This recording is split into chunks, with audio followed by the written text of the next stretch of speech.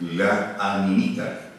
Bueno, animita, como ustedes saben, es el término chileno utilizado para referirse a un lugar de veneración religiosa o mitológica, generalmente desarrollado como una capilla, ermita, santuario o templete que recuerda un hecho trágico en espacio público. También se establece como sitio de veneración y normal de santidades o personajes a quienes se atribuye alguna característica extraterrenal.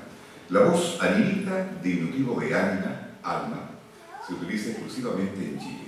En Argentina se reconoce el término y se le denomina simplemente capilla o santuario.